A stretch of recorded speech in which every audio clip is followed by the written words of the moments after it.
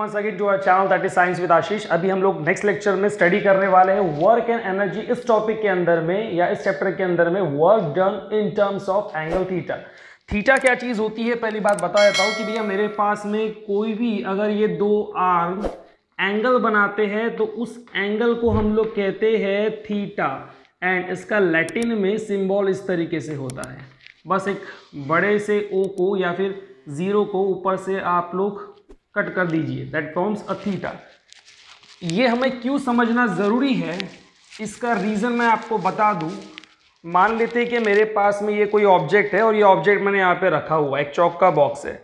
अब इस चौक के बॉक्स को मुझे डिस्प्लेस करना है। आप जानते हो कि वर्क डन होने के लिए ज़रूरी है force and displacement means work done is equals to what product of force and displacement तो मैं इसको एक फोर्स लगाऊँगा किसी एक पर्टिकुलर डायरेक्शन में लाइक दिस बराबर है? तभी चल के ऑब्जेक्ट आगे जाने वाला है। लेकिन ये इसका डायरेक्शन ऑफ़ मोशन हो गया, यानी यहाँ पे मैं डिस्प्लेसमेंट कर रहा हूँ तो फोर्स मैं किस तरीके से कर सकता हूँ? एक तो मैं इसको इस तरीके से खींचूँगा। ऐसा भी हो सकता है कि मैं इसको वर्टिकली अपवर्ड पुल करूँ और ऐसा भी हो सकता है कि डिस्प्लेसमेंट इसका इस डायरेक्शन में और फोर्स सपोज़ अगर मैं अपोजिट डायरेक्शन में लगा रहा हूँ तो ऐसे कंडीशन में थीटा यानी कि एंगल कौन से बनेंगे, उसके अकॉर्डिंग हमको वर्क डन यहाँ पर एक्सप्रेस करना है। तो स्टार्ट करते हैं। उसके पहले ना, हमें एक छोटी सी चीज़ स्टडी करनी है that is what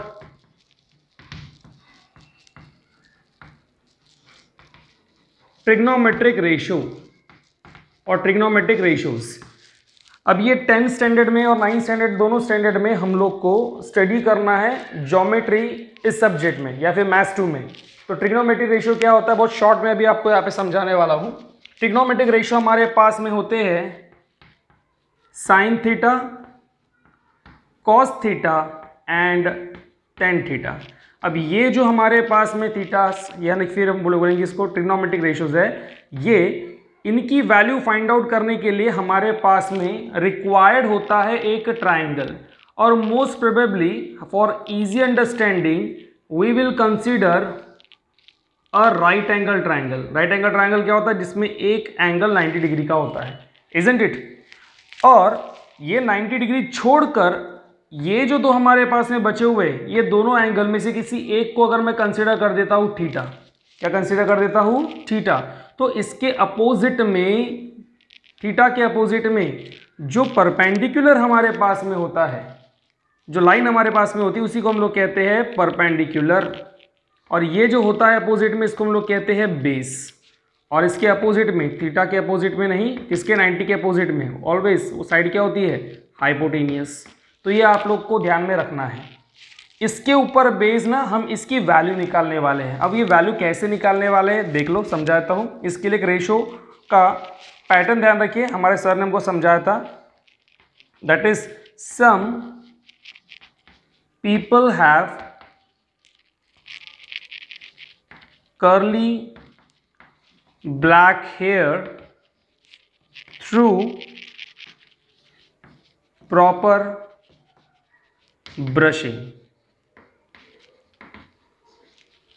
ये सिर्फ़ आपको सेंटेंस याद करना है, काफ़ी आसान हो जाता है। एस का मतलब हो गया साइन सी का मतलब हो गया कॉस और टी का मतलब हो गया here it is a tan means S for sine तो यहाँ लिख देता हूँ मैं साइन थीटा फिर सी का मतलब हमारे पास में हो गया कॉस थीटा देन टी का मतलब हमारे पास में हो गया यहाँ पर टेन थीटा इजेंट इट अब एस के आगे क्या लिखा है? पी एंड एच सो यहाँ लिखेंगे पी अपॉन एच सी के आगे क्या हमारे पास में? बी एच तो यहाँ लिखेंगे हम लोग बी अपॉन एच टी के आगे क्या है? P upon B so we will write here P upon B तो ये हमारे वैल्यूज़ निकालने के लिए काफ़ी आसान हो जाता है।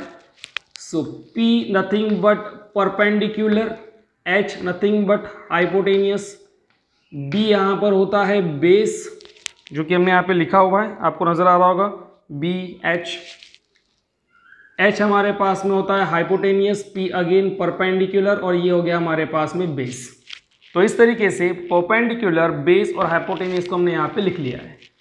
तो अगर मैं इस ट्राइंगल को नाम देता हूँ से A B and C where C is angle theta C जो है हमारे पास में थीटा है और एंगल बी जो है it is what 90 degree. In such case आपका साइन थीटा क्या हो जाएगा? साइन क्या हमारे पास है? Perpendicular upon hypotenuse what is perpendicular it is what A B तो यहाँ पर आपके पास हो जाएगा ए बी अपॉन हाइपोटेनियस क्या है हमारे पास? ए सी ये हो गया A C is equals to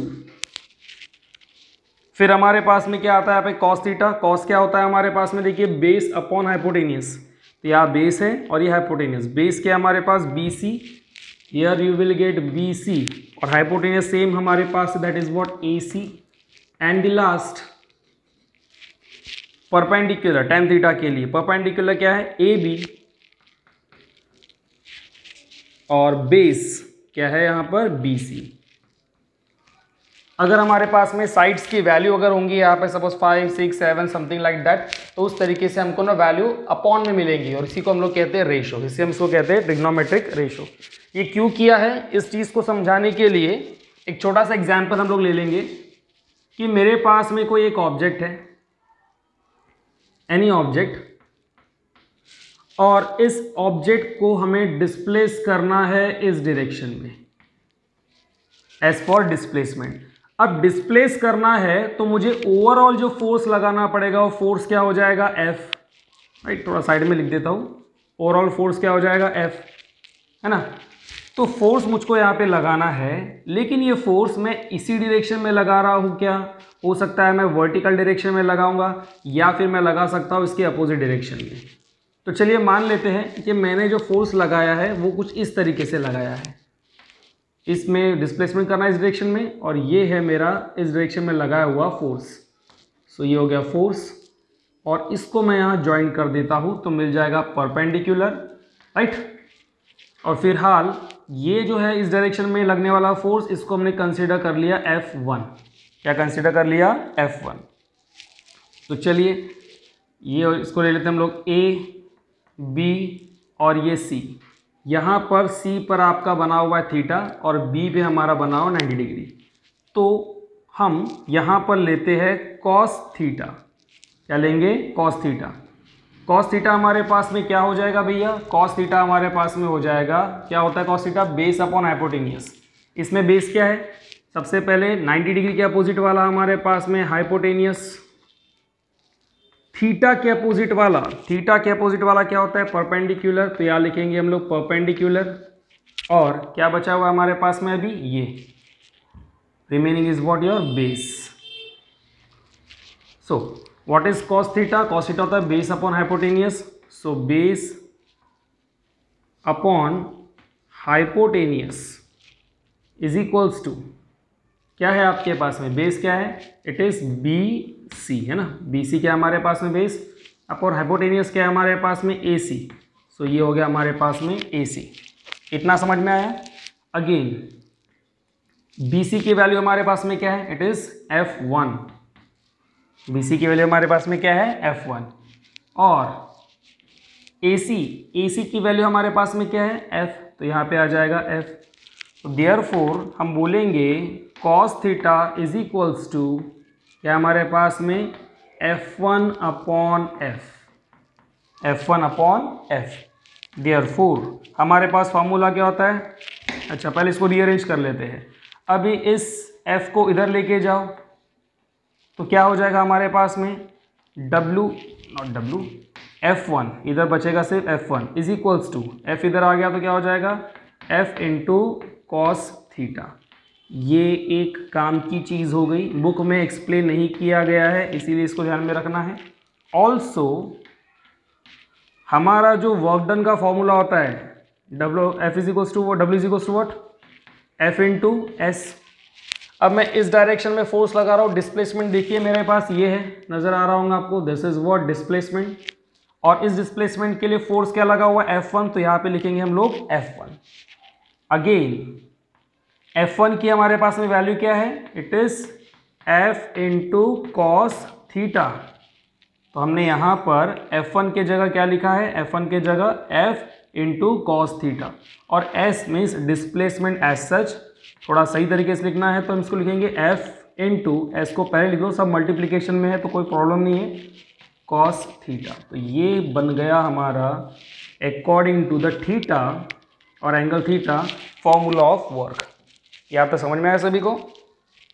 अब, किस डायरेक्शन में हम लोग किसी ऑब्जेक्ट को पुल करेंगे तो हमारा वर्क डन जिसके पहले हमने देखा था पॉजिटिव नेगेटिव या फिर ज़ीरो होगा तो उसकी वैल्यू के साथ हम लोग यहाँ पे एक्सप्लेन करते हैं। चलिए स्टार्ट करते हैं। तो सबसे पहले, अगर ये ऑब्जेक्ट हमारे पास यहाँ पर है, इसका डिस्प्लेसमेंट करना है इस डायरेक्शन में। This is a line showing displacement और इसी डायरेक्शन में देखो, ठीक से ग्रीन कलर का चौक यहाँ पे मार्क कर रहा हूँ। इसी डायरेक्शन में लगा हुआ है फोर्स तो फोर्स आपका यहाँ पर है। तो आपको इतनी बात तो पता है कि प्रॉपर एंगल चाहने के लिए आपके पास में इस तरीके से ये दोनों आर्म जो है ऊपर होने चाहिए। अगर वो दोनों एक दूसरे के साथ आर्म को है, एक दूसरे के ऊपर ओवरलैप है तो एंगल यानी कि थीटा क्या हो जाएगा? इट इज़ ज़ीरो राइट तो this is your first condition दूसरी बात केस टू इस डायरेक्शन में हमारा क्या है भैया? डिस्प्लेसमेंट है और हम फोर्स लगा रहे हैं इस डायरेक्शन में। फोर्स लगा रहे हैं इस डायरेक्शन में। राइट तो यहाँ पर आपका एंगल कैसा बन गया? 90 डिग्री। इसको हम लोग ट्राइंगल कंप्लीट कर देंगे इसका। राइट तो यहाँ पर थीटा क्या हो गया? Theta is what 90 degree. In a last case इस डायरेक्शन में हमको लगाना है, या फिर इस डायरेक्शन में हमारा डिस्प्लेस होने वाला ऑब्जेक्ट राइट और इसके अपोजिट डायरेक्शन में हम लगा रहे हैं फोर्स फोर्स हमारा इस डायरेक्शन में है। तो यहाँ पर जो एंगल हो जाएगा ऑल टूगेदर वो एंगल कितना हो जाएगा? लीनियर पेयर है ना? 180 degree so you will get यहाँ पे angle theta is what 180 degree तो अगर मैं यहाँ पर कॉस थीटा की जगह पर वैल्यू ज़ीरो पुट करता हूँ तो कॉस ज़ीरो डिग्री की जो वैल्यू होती है, वो होती है वन ये आप लोग को आगे में समझ में आएगा, जब हम लोग ज्योमेट्री का ट्रिग्नोमेट्री चैप्टर स्टडी करेंगे तब। अगर मैं यहाँ पर कॉस थीटा की value in place of theta लिखता हूँ 90 so in case of 90 cos 90 is what the value is zero value is what zero and cos in place of theta अगर मैं लिखता हूँ यहाँ पर 180 तो you will get cos 180 eighty is minus one so according to the theta as angle we are for theta cos theta the angle is minus one zero and minus one one zero minus one तो अब देखते हैं यहाँ पे value put करके. W is equals to हमारे पास में क्या है यहाँ पर? F. F की value S such S is what displacement cos theta theta क्या है हमारे पास में यहाँ पर? ज़ीरो और ज़ीरो के लिए हमारे पास में क्या है? वन तो F into S into one तो आपके पास में पूरी वैल्यू जो रहेंगी वो एस सच रहेंगी, है ना? यहाँ पर W is equals to F into S cos angle हमारे पास में थीटा की वैल्यू क्या आ गई? ज़ीरो।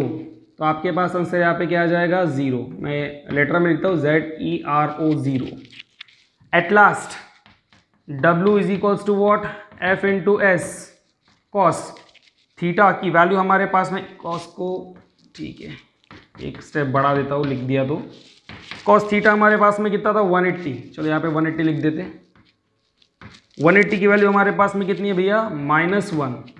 तो हमारा जो वैल्यू है वो हो जाएगा माइनस एफ़ इंटू एस तो इससे हमको समझ में आ रही है कि ये वैल्यू है निगेटिव तो यह इस कंडीशन में the work done is negative negative work done और अगर हमारा ऑब्जेक्ट जो है, इसको हम लोग इस डायरेक्शन में डिस्प्लेस करते हैं और उसमें फोर्स अप्लाई किया जा रहा है परपेंडिकुलर और परपेंडिकुलर अपवर्ड और downward then the work done is what zero तो यहाँ पर हमारे पास में हो जाएगा ज़ीरो वर्क डन ये बुक में बना हुआ टेबल है, उसको बस हम लोग यहाँ पे एक्सप्लेन कर रहे हैं। यहाँ पर आपकी वैल्यू निगेटिव नहीं है ज़ीरो भी नहीं है तो आप वर्क डन क्या रहेगा? पॉजिटिव वर्क डन तो इसे समझ में आता है? कि किसी भी ऑब्जेक्ट के डिस्प्लेसमेंट के अपोजिट डायरेक्शन में अगर फोर्स लगाओगे तो वो हो जाएगा नेगेटिव वर्क डन जो कि हमने इसके पहले क्लास में स्टडी किया है। अगर डिस्प्लेसमेंट डायरेक्शन के परपेंडिकुलर अप और डाउन जैसे कि मैं यहाँ पे खड़ा हूँ, मुझे ग्रेविटेशन फोर्स है ग्रेविटेशन फोर्स मुझे अपनी तरफ़ खींच रहा है और जगह से हिल नहीं रहा हो तो वर्क डन हुआ कि नहीं हुआ? सो वर्टिकली अप और वर्टिकली डाउन अगर मूवमेंट होता है फोर्स का, या फिर फोर्स अप्लाई किया जाता है then there will be no work done zero work done और अगर जिस डायरेक्शन में हमें किसी भी ऑब्जेक्ट को डिस्प्लेस करना है, उसी डायरेक्शन में अगर फोर्स अप्लाई करते हैं then that work will be a positive work done तो इससे समझ में आता है यूजिंग द ट्रिग्नोमेट्रिक रेशियोज हम लोग वर्क डन को पॉजिटिव निगेटिव और ज़ीरो में क्लासीफाई कर सकते हैं। बस को देख लीजिए। मिलते हैं नेक्स्ट क्लास में। Thank you have a nice day